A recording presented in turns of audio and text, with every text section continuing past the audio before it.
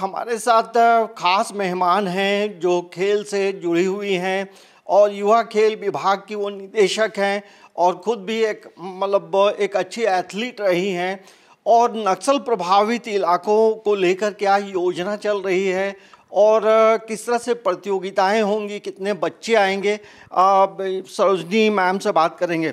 Ma'am सबसे पहले समाचार प्लस में आपका स्वागत है। थैंक यू मैम पाँच जिलों में जो कार्यक्रम है खेल को लेकर, क्या है ये और वहाँ के बच्चों के लिए कितना खास अवसर है?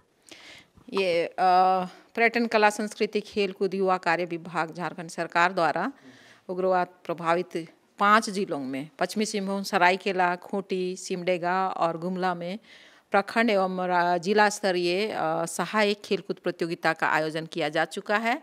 और कल 16, 17 और 18 ये तीन दिन राज्य स्तरीय सहायक खेलकूद प्रतियोगिता का आयोजन किया जाएगा।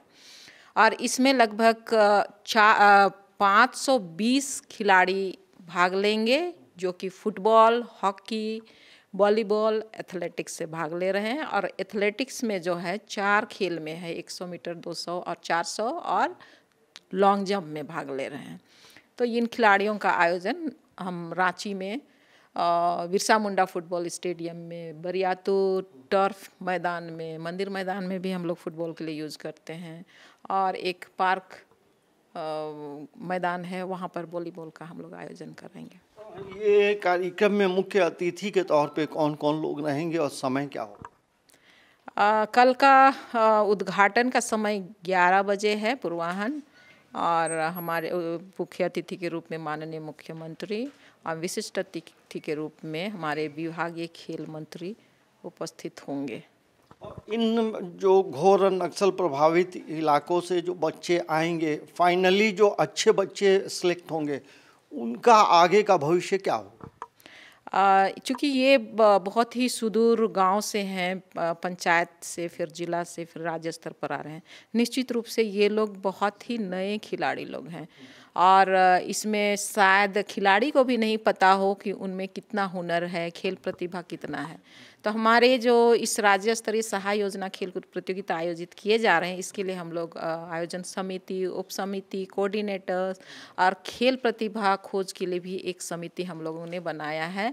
इसमें जो भी अच्छा अगर सेलेक्ट किए जाते हैं तो वैसे खिलाड़ियों को हमारे खेल विभाग के अंतर्गत संचालित आवासीय प्रशिक्षण केंद्र या सेंटर फॉर एक्सीलेंस के लिए भी हम लोग इनको चयन कर सकते हैं। तो एक सुविधा तो इनको ये मिल सकती है।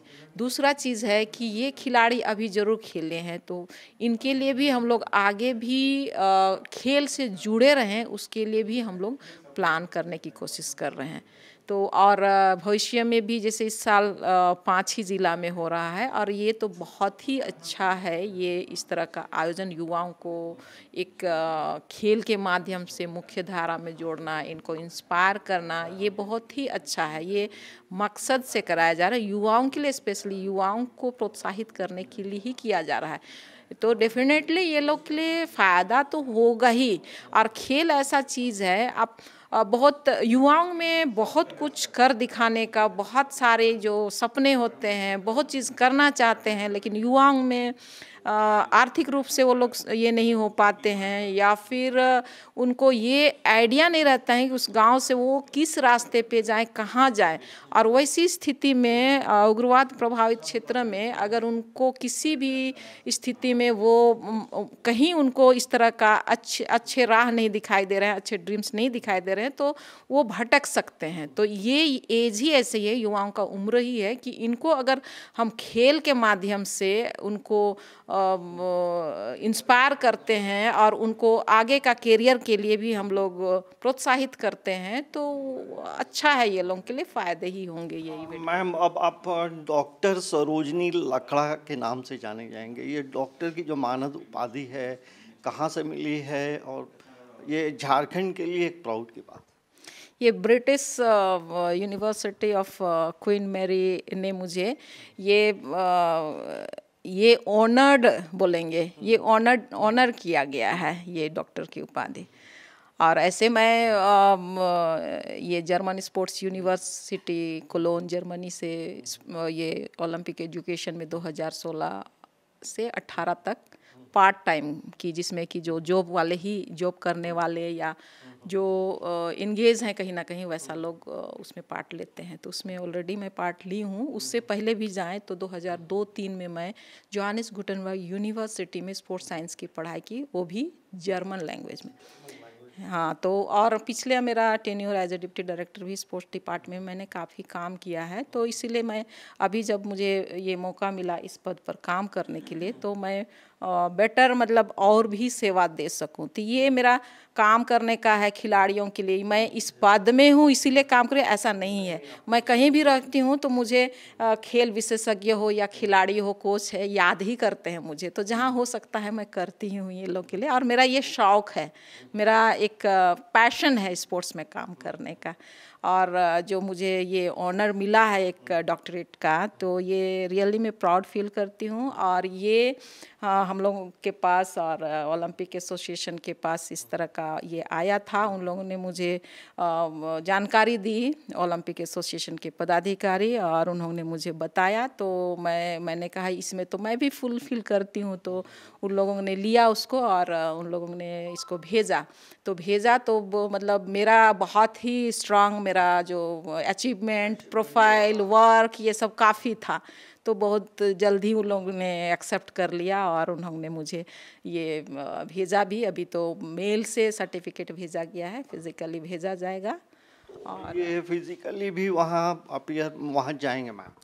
हाँ वहाँ पर फिज़िकली जाने का भी है फ़ंक्शन में भाग लिया जा सकता है लेकिन उतना बाहर जाने के लिए फिर वो समय चाहिए। फाइनेंशियल ये इन्वॉल्व हो जाता है तो मैं और काम भी बाधित हो सकता है अगर मैं बाहर जाती हूँ। सिर्फ़ और सिर्फ़ मेरे ओनर को लेने के लिए बाहर जाती हूँ। उन्होंने तो दे ही दिया, मैंने एक्सेप्ट कर भी लिया, लेकिन सिर्फ़ लेने के लिए वहाँ जाऊँ तो यहाँ पर काम इफ़ेक्ट पर पड़ेगा। तो मैं सिचुएशन को देखूँगी कि उस प्रोग्राम में मैं भाग ले पाऊँ या नहीं ले पाऊँ, क्योंकि पहले तो मुझे अपने खेल के लिए जो काम कर रही हूँ, खिलाड़ियों के लिए काम कर रही हूँ, वो बाधा ना हो और अभी ज़्यादा काम तो है ही। तो ये देखिए अब डॉक्टर सरोजिनी लकड़ा के नाम से जानी जाएँगी, क्योंकि स्पोर्ट्स के क्षेत्र में जो इनका अचीवमेंट रहा है, जो रिकॉर्ड रहा है और जो वर्किंग कैपेसिटी रही है, तमाम चीज़ें कहीं ना कहीं स्पोर्ट्स से जुड़ी रही हैं। और राज्य के लगभग पाँच वैसे उग्रवाद प्रभावित जिलों के बच्चों को लेकर, जो खेलकूद का भी जो आयोजन कल से होना है तो वो भी उन बच्चों के लिए भी एक बेहद खास अवसर है। समाचार प्लस के लिए कैमरामैन अरविंद के साथ अंजनी कुमार, रांची।